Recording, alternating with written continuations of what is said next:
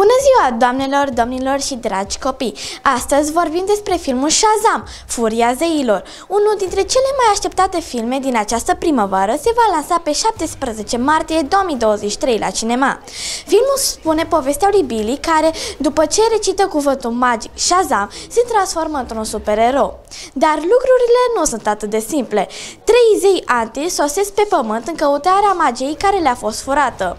Este o luptă pentru superputeri și soarta întregii planete stă în mâinile unor puști. Genul filmului, umor, acțiune și aventură.